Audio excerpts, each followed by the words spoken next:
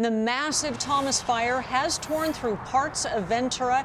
Now it is threatening the 101 north of Ventura, in fact, all the way to the northern edge of the Ventura County line and the southern edge of the Santa Barbara's county line. Let's head out to 10 News reporter Travis Rice. That's right. He's live in Ventura where thousands of people are forced to leave their homes behind and simply hope. Good uh, evening, Kim and Steve. Yeah, we're here on what you could call the western border of the Thomas Fire. This, of course, is a very active scene. Ventura County Fire Department says they have a battalion on the shelf there that you're seeing in the photo.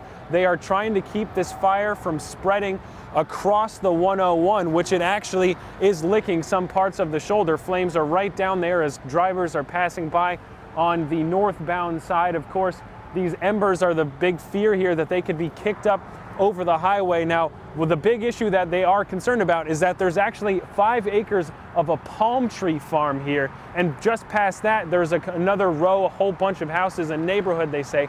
And they're worried that if the fire from here jumps the 101 and one of these embers catches these palm trees, they're going to have a little bit of a situation on their hand. Of course, we are talking about the figures with this fire. We should be getting an update from Ventura County Fire Department uh, back at the command post in a little while. But again, the issue here a fire scene, a live fire that's going on here, uh, right again on the western edge. This is the 101 freeway in the Pacific Ocean, in a sense. I mean, this fire has, made its way from Santa Paula all the way to, uh, you could say, the coast. And Travis, from what you can see, how many firefighters are in that area? That's clearly the northwestern edge of this fire. And, and are, what are they trying to do? How much manpower is on it?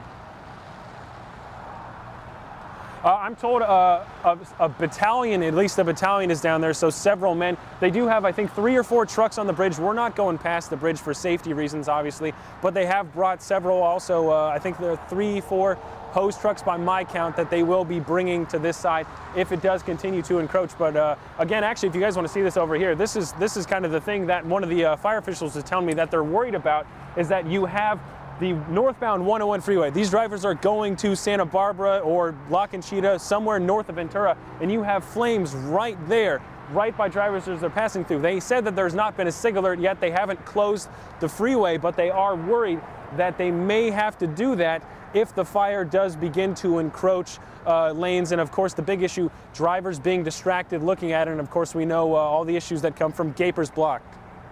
No doubt, mm. Travis, and those flying embers always a concern. Thank you for the update.